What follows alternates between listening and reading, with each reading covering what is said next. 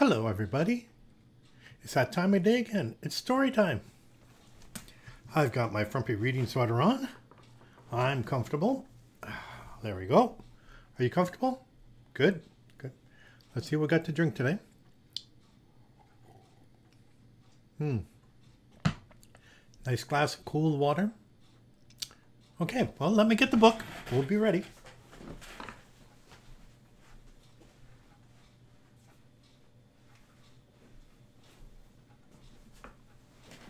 Okay.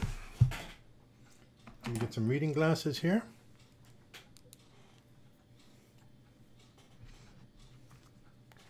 Okay, this book is called The Cat with Two Homes, a first book of opposites, written by Tim Healey.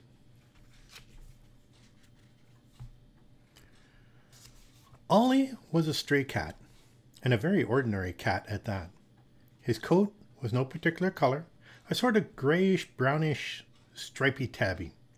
He was not especially thin or fat, or especially big or small. All he was, well, ordinary.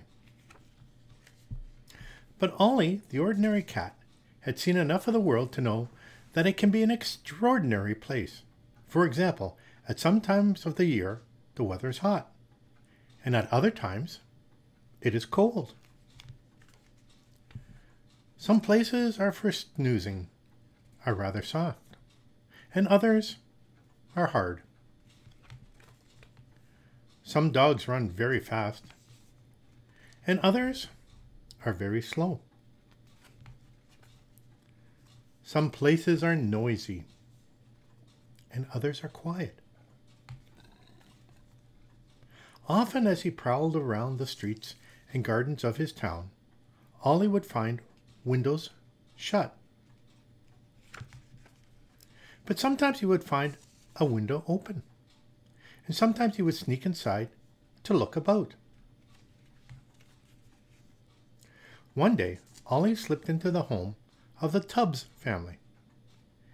It was very untidy in there. Eek! squealed Mrs. Tubbs. There's a cat in the living room. Look, everyone, look! Don't be frightened, the poor thing, said Mr. Tubbs. He looks hungry. Here, Puss Puss.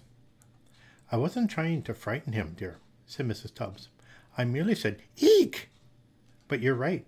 That cat has not been properly fed. And she went off to the kitchen to see what food she could find. The Tubbs were short and chubby. They were a kind family, too. And from that day onward, they allowed Ollie to make their home his home. Every morning, Ollie dropped in and was given an enormous breakfast. The Tubbs thought of Ollie as a rather skinny cat, and they laid out huge amounts of food.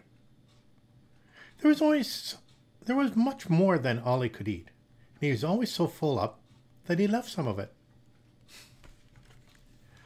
The Tubbs did not know Ollie's real name, so they decided to call him Slim. They even bought a feeding dish and wrote the name upon it. Ollie, the ordinary cat, did not spend the whole day hanging around the Tubbs house. He liked to roam, and around midday he would often find himself near the home of the Pike family, who lived in the same street but on the opposite side of the road. One day, Ollie had a fight with a neighbor's cat and hid in the Pike's garden to lick his wounds. Mrs. Pike found him there and brought him into the house. Look at this poor stray, Mrs. Pike said to her husband. See, he's been in a fight and needs someone to look after him. Humph, said Mr. Pike. He looks well enough. Looked after to me. Just see what a plump fellow he is. A real old roly-poly. The Pike's house was quite unlike the Tubbs' house. It was very tidy. The Pikes themselves were rather tall and thin.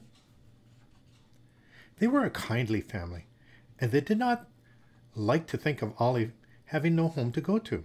From that day forward, they gave Ollie freedom of their house. Every lunchtime, Ollie would drop in and was given a midday meal. The Pikes thought of Ollie as a rather plump cat, and only laid out tiny quantities of food. That cat, said Mrs. Pike, is much too fat, but we can't give him nothing at all. And because the Pikes did not know Ollie's real name, they called him Podge. They even bought a feeding dish and wrote the name upon it. So, it was that Ollie became a cat of two homes. For many years he lived in or about the same neighborhood, without anyone suspecting his secret, until one afternoon, one very ordinary afternoon, Mr. and Mrs. Tubbs met Mr. and Mrs. Pike on the street. Ollie happened to be snoozing on the wall nearby. Look at that lazy creature, said Mrs. Tubbs fondly. He's our cat, you know. Always comes when by for breakfast. We call him Slim. But he's our cat, said the astonished Mrs. Pike. He has his lunch with us. We call him Podge. A cat with two homes, chuckled Mr. Tubbs. A cat with two names, laughed Mr. Pike. And their laughter, laughter wakened Ollie from his sleep.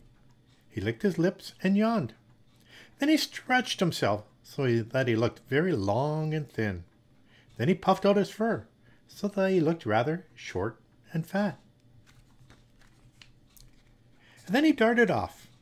He jumped over one garden gate, and he sneaked under another.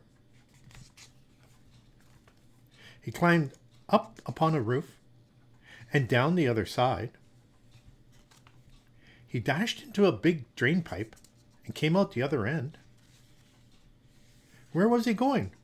Well, because it was late in the afternoon and would soon be time for his evening meal, Ollie was going off to eat at his third home. Third home? Oh, yes, didn't I tell you? Ollie has a third home, and it's the one he likes best of all. It must be a really snug home, too, for he goes there every night. But where is that home? It's a secret known only to Ollie. It's a bit of a mystery to me. The end. Wow. Ollie was definitely an interesting cat, wasn't he? Well, that's the end of the story. I hope you have yourself a great day. You take care of each other, take care of yourself, and I'll talk to you tomorrow. Bye now.